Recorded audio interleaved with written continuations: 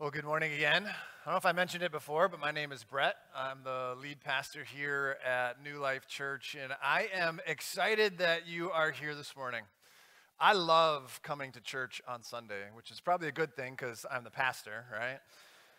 Uh, which I hope that you get up every day too, excited to be a part of whatever's going on in life, and that Sunday potentially could be a special day as you get the opportunity to be here, as we get the opportunity to be here. And so, as the snow comes in, especially when it's going to be overnight, that's my biggest fear because, like, no, I have to be there on Sunday.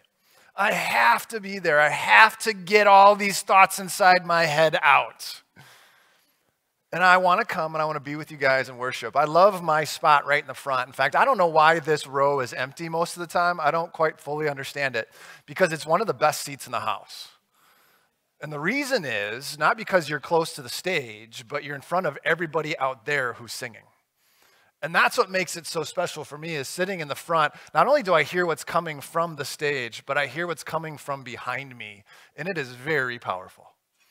As we gather together, as we talk about verses where everybody, every race, age, everybody will be represented in some way, shape, or form before the throne, and there will be singing, it is powerful. And so the fact that we get to do that on Sunday is something that I get really excited about. And then we sing songs like the one we just did, Living Hope, which is an anthem for me because I don't know about you, but there are times where I feel hopeless. As I start understanding who I am, as I grow older, I start realizing things about myself that I didn't know when I was in high school, that I didn't know as a little kid, that I didn't know in my mid 20s, and that I'm now in my late 30s going, oh, yeah, that's totally me. One of those things being that I have a little bit of a rebellious streak inside of me. Anybody relate to that? Like one of you? Seriously. Well, if that's the case, you're going to learn a lot today about yourself. I have a little bit of a rebellious streak. I have a tendency at times to do things just because somebody tells me I shouldn't. They're like, you know what? If you do this or do that, it's going to lead to, and I'm like, yeah, well, I just want to try it, see what happens. Why not? Don't tell me I can't, because if you tell me I can't, I'm going to. And I've started to realize that as I get older, I become more crankier in that way. And actually gives me like fuel to then go do it. Oh, you don't think that can happen? Ooh, here we go. But, you know, one of the times in my life where it was specifically evident was the summer after my senior year of high school. That stage where you're getting ready to go, you're getting ready to leave, and you're trying to figure out what freedom looks like. And now that I'm removed from that season of my life, I can tell you that I probably didn't handle it to the best of my abilities, that I didn't do it very well that I was in a season where my parents, who were trying to help me figure out what independence looked like, still said, You're underneath the rule of our house. And while you're here, there's certain things that you have to do. And I went, Why? I'm leaving anyways. What are you going to do? Kick me out? that was the attitude. I know. Whew. And so were things like they still imposed a curfew on me the summer of my senior year. Like, how fair is that? Seriously, a curfew? Like, when you get to college, what's curfew? In fact, I remember a moment I played basketball in college and we were going to a 6 a.m. workout. And we walked out the doors of our dorm room and there were two guys sitting on the steps. And we were like, late night or early morning? And they're like, late night at 6 a.m. That's college. And that's what I was excited about going into that season of my life, going, woo, I can do whatever I want. And so I'm going to start that now, mom and dad. What are you going to do about it? And so they imposed curfew. I broke it a couple times, and yet there was something inside of me that went, I really probably shouldn't do this. I should probably listen to mom and dad. I bet they know what they're talking about, and yet I still continue to push the limits. So after I broke curfew a couple times, I decided, you know what, I'll come home at curfew, but I'm not coming inside. And so I'd sit outside with my friends that didn't have curfew, and we'd be out there to the wee hours of the morning going, hey, at least I came home, right? At least I'm here, but I'm not going to walk in the door. And there were other things, hanging out with people that my parents didn't necessarily approve of, and things that now I look back on it going, man, I was a complete tool. I really was. And yet, the side note on that is if you are a parent that has a child like that, there's hope. maybe someday, maybe it might take to their late 30s, they'll realize that they too were a tool. And you can tell them right now, someday you're going to realize you're a tool and then pray that someday they'll be used as a tool for Jesus, right? that God will transform their hearts. Or maybe you resonate with it because you were that person. That you hear my story and you're like, yep, lived it, done it, been there. Why? Because every single one of us, in some way, shape, or form, has a rebelliousness within us. In fact, as human beings, it's a part of our nature. We are a rebellious people. It's part of our human nature. It's a part of how we are wired. It's within us. And today, we're going to look at that. We're going to look at this idea of rebelliousness. We're going to look at where does it come from? And then we're going to look at is there hope? Is there a way out? Is there an answer to this problem that I don't know about you, but in my life, I'm identifying more and more? So I want you to open with me this morning to Joshua chapter 10. Excuse me, chapter 10. We're continuing our series in Joshua. We're going to be in Joshua chapter 10, starting in verse 28. We're going to go all the way through chapter 12. We're not going to read all of it this morning. In fact, it's such a large passage. We're going to do it in two parts. So we're going to do part one today and part two next week. But we're going to get focused on those verses and really looking at this idea of rebelliousness as we continue to follow Joshua in his campaign. And so, as we get to this part in Joshua chapter 10, verse 28, the military campaign against the Canaanites, against those that are in the promised land, is in full swing. We've gotten to this place where the Israelites crossed the Jordan. They moved into the promised land. They went into Jericho. They went into Ai. There was a, a period where they made a treaty, a peace treaty with Gibeon. Because of that peace treaty, it shoved them into this battle with these kings that came to fight Gibeon because they had become allies of Israel. Gibeon's former allies were now their enemies because they had allied themselves with Israel. And in all of that, this battle erupts with these southern kings. And so I want to take a look at a, a map just to kind of give you a picture of what that looks like. Just to give you an idea of who these southern kings were, here's this picture again of the campaign that Joshua has been on. Gilgal has been their home base. They went into Gibeon. They fought in Gibeon. God fought on their behalf. They captured five kings. They put them in a cave. Then they went after the other individuals that were there, and they were able to capture everybody in that one, that one battle. But then that battle spawned into another battle that led them down now into the southern part of Israel. And for the sake of today, there's two parts we're talking about the southern part and the northern part. This battle in the end of chapter 10 is the southern part. And as they go into this battle, God continues to be with them. And it's a pretty quick fight. In fact, it tells us in Joshua 10:40 that Joshua subdued the whole region, including the hill country, the Negev, the western foothills, and the mountain slopes, together with all their kings. And in verse 42, all these kings and their lands Joshua conquered in one campaign because the Lord, the God of Israel, fought for Israel. It was fast. We don't know how fast, but the passage there is translated that all happened at once. And so they conquered it in one campaign. It all happened in this one moment. And so it was probably a couple of months. Didn't take long. They went into the southern kingdoms. They had captured the kings already, these five kings that had kind of been the head of the dragon that had come after Gibeon. And now they're in the southern land, and God gives them the land because they were, or God was fighting with Israel. And so as this battle's taking place, there's another group of individuals that hears about what's going on. And so there's this pattern in Joshua that we see over and over and over again. As they come into the promised land, you see in chapter 2, Rahab heard what had happened to the kings on the other side of the Jordan. And so, because of that, she says, We understand that your God is a big God and he fights on your behalf. And she said, I want to be a part of that. And so, as she then steps in line with Israel, Israel then goes into Jericho, where she was living at the time, and takes Jericho. But Jericho had heard about what they had done to the other kings.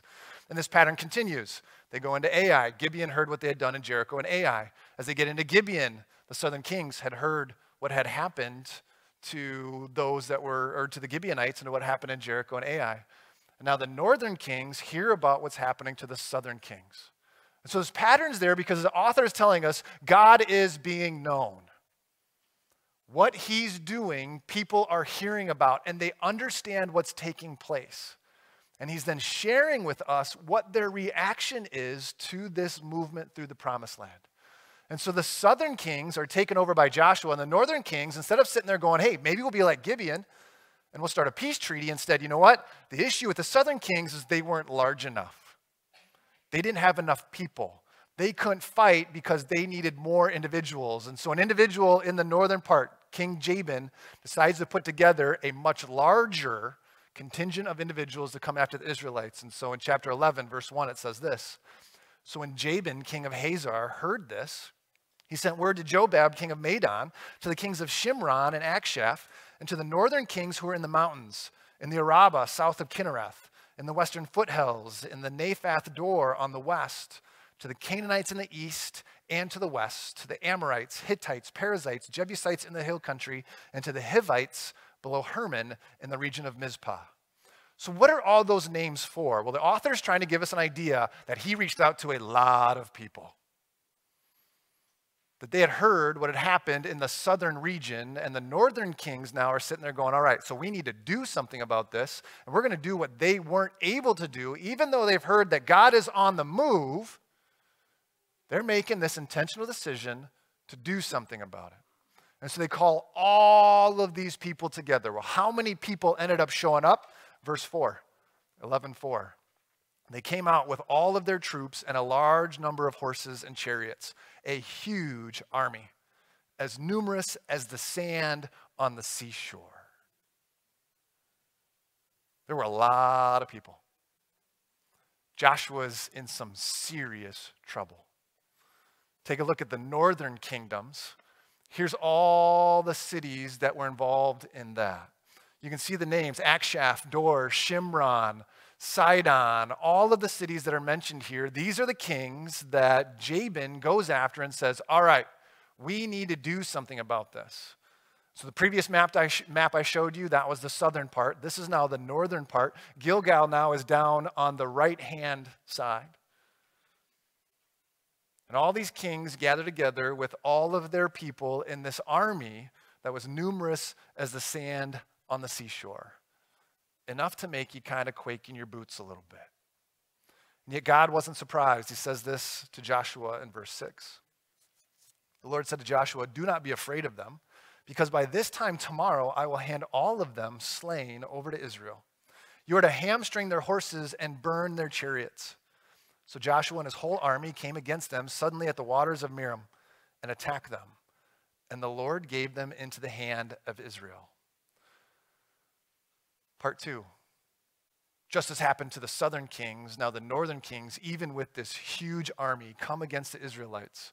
And the same thing happens as they did to the southern kings that God was fighting with Israel and so gives them all into the hands of the Israelites. Verse 16. So Joshua took this entire land the hill country, all the Negev, the whole region of Goshen, the western foothills, the Arabah, and the mountains of Israel with their foothills, from Mount Halak, which rises towards Seir, to Baal Gad in the valley of Lebanon, below Mount Hermon.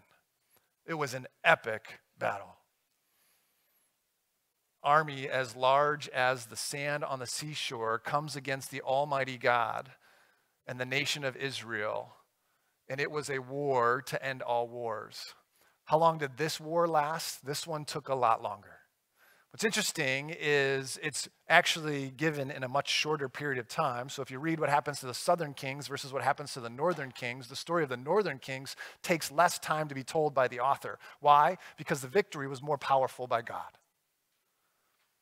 And he's giving this, this understanding that there's all these people, and yet he only gives you this small glimpse into what the war happened, or what happened in that battle, what happened in that war, because God was fighting for Israel, and it was something that, boom, happened. And yet we need to understand how long it took, because as we read through it, it's really easy to go into these 16 verses and go, wow, man, that was quick. That was really fast. Because the one in the south was quick, it was only a couple months. The one in the north was not. In fact, that's exactly what tells us in verse 18 that Joshua waged war against all these kings for a long time. But even though it only tells us in 18 verses what took place, it waged for a long time. Well, how long is a long time? Well, they've tried to map it out. What was the timeline of this battle? Well, in comparison to the couple months it took with the southern kings, there's a good chance that this battle took about seven years. Somewhere between five and seven years was the battle with the northern kings, where God's fighting with Israel in this specific situation. And if you turn to the next chapter, into chapter 12, If we look at all of the kings that Israel fought with, there's a total of 31 kings. So the battle as a whole between the southern kings, the northern kings, Jericho, all of it, probably took somewhere in the ballpark of eight to 10 years for Israel to fight this battle. In fact, it took so long that Joshua went from being this spry young leader, this warrior who's got this sword and this armor and this exciting guy. If you go into chapter 13, he's now an old guy. In fact, we'll see in a couple weeks that verse or chapter 13 starts with the verse where God says, And now Joshua, as he was an old man, had gotten to this point. And so this war waged for a while. And why is it important that this war waged for a long time? Why are we focusing on the time of this war? Because it takes us back to this idea that we are a rebellious people. You see, this war could have ended a lot sooner. In fact, it could have been over. It could have been done because the northern kings could have looked at the southern kings, could have seen what happened in Jericho, could have heard what had taken place across the Jordan, which Gibeon had. And they could have made a decision to say, you know what, instead of fighting, we're going to do something a little bit different. We're actually going to maybe ask some questions and say, why is this taking place? We're going to look at what God is doing and go, well, maybe we're on the wrong side of the battle. And instead of fighting on this side, we should be fighting on the other side. And maybe we should be on God's side rather than our own side. And the battle could have ended. It could have been finished. It could have been done, except for one simple, small, little thing. And that's this idea of rebellion. The thing that's inside of every single one of us was also inside the army of the Canaanites. They did not want to stop fighting, they did not want to give in. They did not want to lose. And so they continue on. And as they continue on, they continue to emphasize the fact that they were enemies of God. And this battle, as much as it was physical on those plains with numerous individuals, as many as sand on the seashore, wasn't just a physical battle, it was a spiritual battle. It was a spiritual battle that was waging right there in the middle of the promised land as this rebellious creature, human beings, said, God, we will not give in we will fight to the very end because they declared, God, we are your enemies. Which poses the question then does God have enemies? Are there enemies of God? Which I think for us is hard at times to think through. In fact, modern theology would argue that the answer to that question is no. God is love. God is fluffy. God is some giant sitting on a cloud with a really cool beard covered in white kitty cats right? Have you ever seen that Hanes commercial where like Michael Jordan's in it and the guy's sitting there trying to, yeah, never mind, white cats are crawling all over him. It looks really cool. Like think about white cats, just like soft and fluffy, and you could hug God covered in white cats. That'd be cool. And then he's just okay with everything. He just sits there allowing things to take place because we've elevated this idea of love so far above other things that we've forgotten what actually is love. And so when we talk about the idea that God had enemies, is that loving? I don't know. Let's take a look.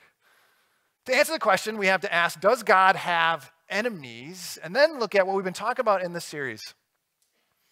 God issues a question to every single one of us an invitation, a statement, an ultimatum, a challenge that we've seen from the very beginning of this that God asks each and every one of us this very simple question Are you for me or against me?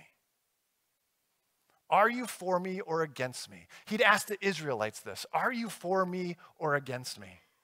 He asked the nation of Israel, Joshua specifically as the leader. He asked the Canaanites and he asked you and me the question Are you for me or against me? And every single one of us, I truly believe, at some point in life, has to answer the question Are we for God or against God?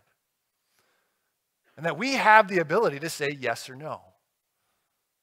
One of the things that we have to understand is if we answer the question no, then Scripture tells us that we then are enemies of God. That if we are not for God, we are against God. That we are not with Him, we are against Him. And this is exactly what the Canaanites were doing. They had answered the question. God had said, Are you for me or against me? And they had said, We are against you. And out of that, they continued to fight. They rebelled. They said, We will not give in, God. We will not go the way you want us to. And so we will battle. So, where does that come from? Why does that happen? In every single one of us, there is this tension. There's this desire to be with God and desire to run from God. Where do we get all of this? Well, we need to go back to the very beginning of time. We were created in the image of God. God issues this invitation because there's a separation between him and us where he comes now and says, Will you come back in relationship with me? Because there was this thing called rebellion. Rebellion started this distance between us and God. And so in us, there's this good versus evil desire. There's a sense of God, I want to do what you want me to say. I believe there is a God. I wrestle with this internally. And yet, I also sit here going, I don't think I believe in God. I'm not sure there is a God because I also wrestle with this idea of rebellion. Because if you give me rules and you tell me things there are, that, tell me there are things that I cannot do, what do I naturally want to do? I want to do them. Why do I fight with reading the Bible? Why do I fight with this idea that there's a holy God that has expectations for me? Because inside, I just don't want to do it. Ah! Why? I don't know. I don't know. In fact, as I understand the rebelliousness inside of me, as I stand here, as I read passages like this, I want to stomp my feet and say, God, that's not fair. I don't like you. Why? Because it's a part of who we are. How did it become a part of who we are? Well, from the very beginning, there's been this idea of rebellion. It started in a very specific moment that the Bible only gives us glimpses into, but those glimpses are fascinating. See, God created this being, this creature, most beautiful creature ever created. Nothing was more beautiful before, and nothing has been created more beautiful since. In fact, in Ezekiel chapter 28, it gives us a glimpse into the beauty of this being. Ezekiel 28 12 and 13. You are the seal of perfection, full of wisdom and perfect in beauty. You were in Eden, the garden of God. Every precious stone adorned you carnelian, chrysolite, emerald, topaz, onyx, and jasper, lapis lazuli, turquoise, and beryl. Your settings and mountings were made of gold. On the day they were the day you were created, they were prepared. There was a being more beautiful than anything that had ever been created. In fact, this individual walked with God. They were with God. They were in the garden with God. They were in the presence of God regularly. And yet, what this glimpse shows us is that just being with God wasn't good enough because, in the beauty of this being, arrogance started growing. Instead of wanting to be with God, there was a desire to be God instead. And so he tried to become God. And he tried to raise his throne above God's throne, and that plan didn't work out. And so he was cast out and he was taken, everything was taken away from him. And so instead of gaining everything, he lost it all in his desire to be God and not just be content with being with God. And so in Revelation chapter 12, it tells us of what it looked like when he was cast out. He took one third of all angels with him in his rebellion, and each one of them was cast out of heaven, utterly disgraced, sent out of the presence of God. And yet that wasn't good enough. He wasn't just going to give up, he was going to keep fighting. So, this individual, with his now one third army, turned his attention to the creation. Created as the most beautiful being that God had ever created, still wanting to be God, now disgraced with this army of individuals, he said, The way to become God is I will now take the greatest thing that God has ever created and I will taint that. I will go after them because if they stop following him and start following me, then I will be able to become God that I will supplant God from his throne, that I will become God once and for all. This plan didn't work. Now I'm on to plan B. So, what was plan B? Well, somehow he still had access to the garden. We see it in Genesis chapter 3. The serpent comes into the garden, and the humans that God had created, the greatest creation of all, this individual took the same lie that he believed to them and said, Guess what? Being with God isn't good enough. You can be God. That if you eat of this fruit, you will be just like God. And so the same lie that he believed, he convinced Adam and Eve to believe. And because of their belief and their sin, there's this thing called imputed sin that on behalf of all humanity, what they did, you and I now deal with. And one of the key issues of that first sin was this idea of rebellion. The idea of rebellion stems from the fact that I'm not just good enough being with God, I want to be God. And that's the fight that we all have inside of us. That's the fight that I had with my parents. I'm not good enough just being with you. I'm not good enough just living this amazing life. And thank you, mom and dad. And I know my mom's watching, and she's probably sitting there going, Praise the Lord, he realized it. Woo! But thank you for the life that you gave me, but I wasn't content with it because I wanted to be the one that was in control. I wanted to be the one that said, I will do this and I will do that. I wanted to be the one that was in charge. I did not want to submit and humble myself to the authority that I knew I should because there's something inside of me that continues to do that even now at my age, going, oh, because there's this war that's waging. And that's what happened in that moment. A battle started the battle of good versus evil, the most epic battle the world has ever seen. And I'm right in the middle of this battle, and my nature's right in this middle, of this battle because if I was made in the image of God, there's part of me that, God, yes, I want to do everything you want me to do. I want to be with you. I want to be someone that shines so bright that when the world sees me, they say you. And that the other side, I'm sitting going, no, I don't want to do that. I want to do this instead because this is more exciting and there's a battle that's waging, a war that is raging right now for your very soul. Right in the middle of what you're doing this moment. Everything in our culture attests to it, everything speaks to it. You can't look at the headlines in our world today. You can't look at the movies that are coming out with seeing there is a battle going on. In fact, the greatest movies of all time have been made because we understand this battle of good versus evil. Star Wars, Lord of the Rings, Frozen.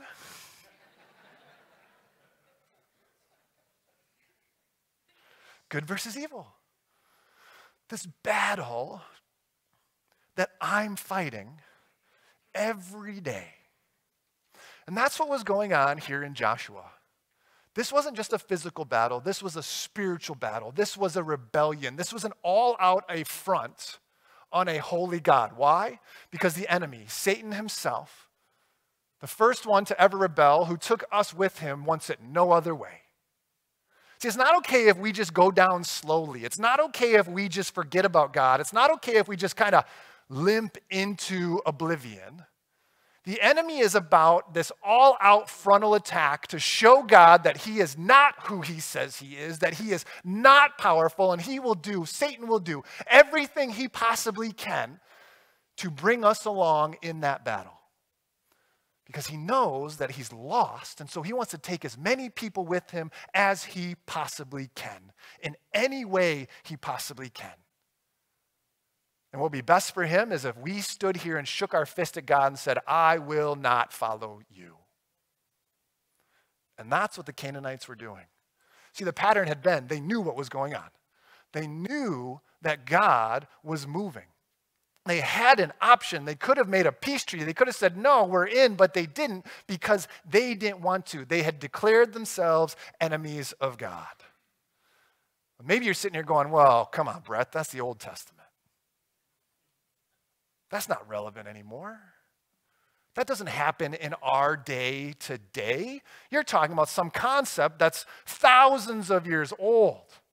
That happened way far away with these terms, enemies of God and all that stuff. Well, the New Testament era is here. We're no longer enemies of God. Or are we? Because if God had enemies then, does God still have enemies today? James chapter 4.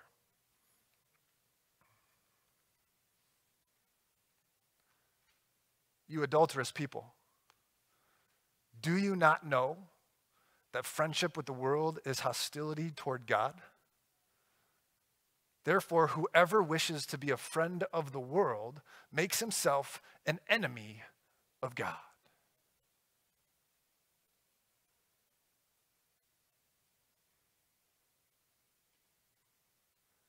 Friendship with the world is hostility toward God. Therefore, whoever wishes to be a friend of the world makes himself an enemy of God. Is that just an Old Testament concept? See, what the Canaanites had done, what they had said is, we love this life more than this life. We love the world, God, more than we love you. We love our stuff. We love our cities. We love our lifestyle more than we love you. They become friends of the world. I think we have to be very careful where we lay our judgment in this because it's very easy at times to read passages like this and go, God is so unfair. He's so harsh. This is a tough, tough passage. And yet, where does human responsibility fall in that? Because God had waited 400 years. I want to put that in perspective. How old is the nation that we currently stand in? 243 years old. Which means that we have 157 more years before we get to the place that Canaan was to see the time frame that God had allowed them to understand who he was so they could make a different decision than they did. I don't know about you, but if I look at our world today and I project out another 157 years with no awakening, no revival, no Jesus, come to Jesus moment, what's our world going to look like? What's our nation going to look like? Where are we going to be at that time? And then we have to ask the question who's going to be God? Who's going to be making the rules? Who's going to be telling everybody what to do? Who's going to be the power and authority that's in charge? And I don't know, but if I project out 157 years, where my mind goes is not super positive. You might think differently than me, and I'd love to have that conversation with you. I want to know what's the thing that's going to bring us up here? Is it a generation needs to die? Well, there's many generations between now and 157 years, so which one is it that needs to go away for things to become good? What's going to take for us to go this direction? Because now, even people that don't see eye to eye, they're not the only ones fighting. It's those that are supposed to be on the same side that are fighting with each other.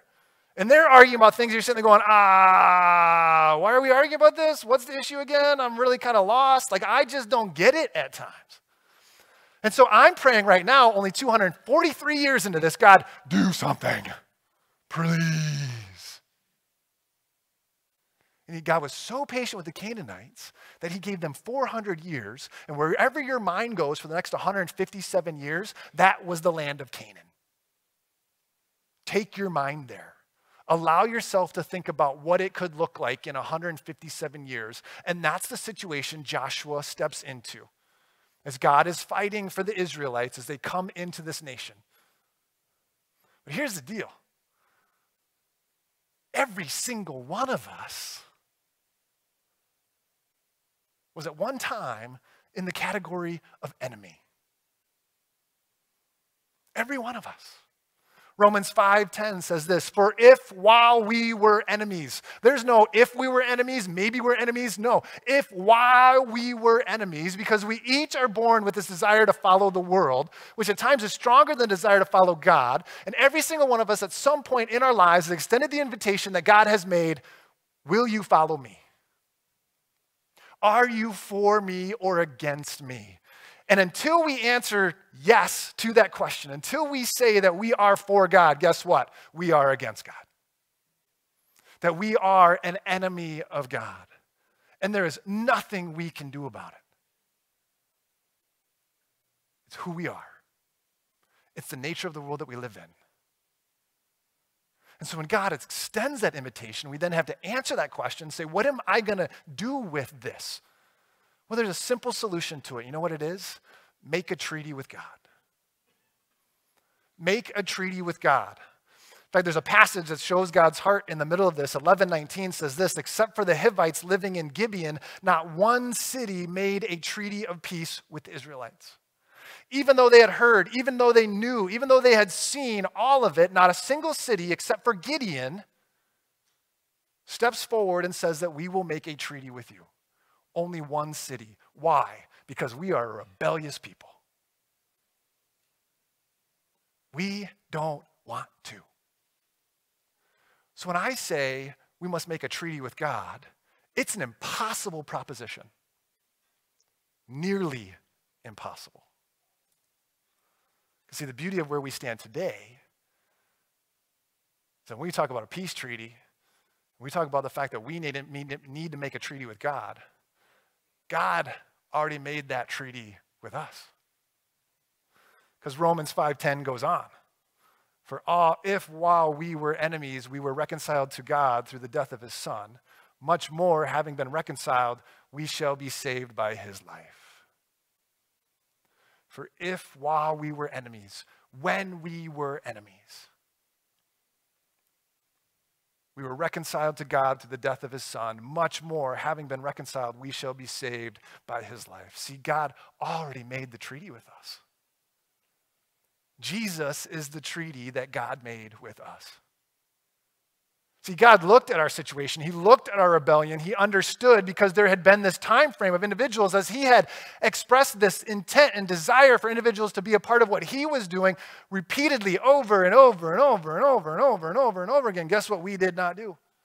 We did not make that treaty. We did not step into that. And at one point, at the perfect time, scripture tells us Jesus came to do what? To be the one to make that treaty to be the one to step into history and say there is a way out. For those that believed before, for those like Gibeon, for those like Rahab, for those individuals that looked at God and said, We are in. And now, those all the way past 2,000 years removed from that situation when Jesus died on the cross, the peace treaty was made, and we can sign it and say, I'm all in. I'm all in because of what it was that you did. I'm all in this rebelliousness within me. I want to get rid of it. Jesus, you are that peace treaty and I'm signing my name to it. Because as the sin in the garden was imputed to us, as Adam and Eve did what they did, as we think about the unfairness of that, the counteraction to that, the fairness in this world is that Christ came and imputed his righteousness back to us. And said that understanding rebellion, you can now be free of it. You can now come out from underneath it. But guess what? We don't want to.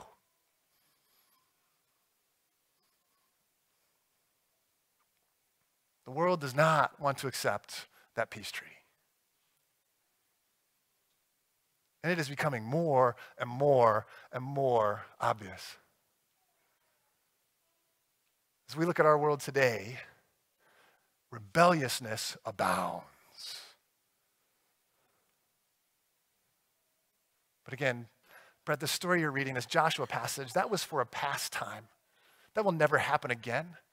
In fact, your perspective is so far off. We're actually evolving in a positive direction. We're getting better. As I had conversations with individuals, they're like, Your lens is the one that's wrong. We would never go back to that. We would never experience that again. We're not fighting against God. We're not enemies of God. We are God. Ooh. Well, guess what? As much as that passage in Joshua was historical, it's also somewhat prophetic. Why? Because as human beings, we don't change very much. Regardless of the thousands of years that have passed, there will be a time where we will experience rebellion once again. And so I want to show you the picture of the northern map. Right down in the very bottom almost, there's a little dot called Megiddo. Megiddo sits almost right smack center between the southern kings and the northern kings. And Megiddo is extremely important because it's believed that right there is where this thing called the Battle of Armageddon will take place. That what happened with Joshua between the southern kings and the northern kings, with an army the size of the sand on the seashore, will be replicated once more in almost the exact same spot. In fact, bringing all of the armies together right there. In fact, this next picture shows you the valley of Megiddo. It's huge. Revelation tells us that on that plain right there, it's estimated where the Battle of Armageddon will take place, that once again, an army will amass itself the size of the sand of the seashore. Why? Because we want to be God. Because one more time, we will rebel. Revelation 9 20 through 21. The rest of mankind who were not killed by these plagues still did not repent of the work of their hands. They did not stop worshiping demons and idols of gods, silver, bronze, stone, and wood, idols that cannot see or hear or walk. Nor did they repent of their murders, their magic arts, their sexual immorality, or their thefts. There will be rebellion, which will result in a battle. Revelation 16 10 through 21. The fifth angel poured out his bowl on the throne of the beast, and its kingdom was plunged into darkness. People gnawed their tongues in agony and cursed the God of heaven because of their pains and their sores, but they refused to repent of what they had done. Refused to repent. The sixth angel poured out his bowl on the great river Euphrates, and its water was dried up to prepare the way for the kings from the east. Where are the kings of the east going? To Megiddo. I saw three impure spirits that looked like frogs. They came out of the mouth of the dragon, out of the mouth of the beast, and out of the mouth of the false prophet. They are demonic spirits that perform signs, and they go out to the kings of the whole world to gather them for the battle on the great day of God Almighty. Look, I come like a thief. Blessed is the one who stays awake and remains clothed so as to not go naked and be shamefully exposed. Then they gathered the kings, these demonic spirits, demonic spirits, gathered the kings together to the place that in Hebrew is called Armageddon, Megiddo. See, it's hard at times to read this passage in Joshua because we've so evolved in our modern society to go, this will never happen again. And I can't really believe that it ever happened at one time. Well, the reality is, it did happen, and it will happen again. But in the middle of this, we have to be very careful. We cannot act as the victim. We are not the victim. The Canaanites were not the victim. Because our rebelliousness leads us to stand in the face of God and shake our fist. And that's exactly how the enemy wants it. That we are individuals that stand here going, No, I will not follow you, and willingly step into these issues and into these situations and into these battles. And that the rebelliousness inside of us wants to go, God, you are awful and you are horrible and you are wrong. Why? Because I want to be God. Because here's a simple solution. Here's a really easy answer right now. What if all of us just took a step over here and followed exactly what God wanted us to do? Think about it. Let's just take the Bible and actually live it out. Let's just all do it right now, okay? Ready, go. And let's just easily convince the rest of the world to do the exact same thing because I can promise you that if we all did that, our problems would go away. Go away. Everything would be solved all the issues would be solved. But guess what? Oh, and this is where it gets tough. I might have to give up some of my lifestyle that I really like. I might have to give up parts of me that I want to hold on to that I'm rebelling against God with because guess what, God? I like that more than I like this. And so, this easy solution, this simple thing, the problem can go away tomorrow, will never happen. Why? Because we are rebellious people. Which then makes me think the Bible is even so much more true because it's telling us this is exactly what's going to happen. This is what's going to take place. And yet God says, I have the answer for you. I can tell you where it is. It's right here. Just do it. Whoop, just do it. It's like my kids. I say that all the time. Just do it. You know how easy your life will be if you just listen to me? Just do it. Not because I hate you, not because I'm evil, not because I want to like bring down the hammer. No, I love you. That's exactly what God is trying to say to us. I love you. Just do it. It's so simple. And yet we won't. And so, what's our role in this world right now as we understand this? We must tell people about it. We must warn people about it. I hope this passage makes you cringe. I hope as you read this more thoroughly, as you go away from here, that you read through this and it makes you go, ooh. Because I hope it fires you up to tell people that this is real. And this is something that we have to deal with. This message is going to be online. People can freely watch it. They're going to hear this. And yet we live in a world where most won't do anything about it. And so we have to do everything we possibly can to tell people that this is real. And then, fifth, we have to understand that in the middle of all of it, God still wins. There will be people that listen to that message. There will be many that don't. There will be trials and tribulations, and we know how the end of the book is written. And for the sake of individuals that are here today in this room and those we love outside of it, we have to share this with the world. Because no matter how hard we fight, no matter how hard we rebel, no matter how hard we push against God, guess what? God still wins. And it would be a disservice on our part to not share that with the whole world. God still wins.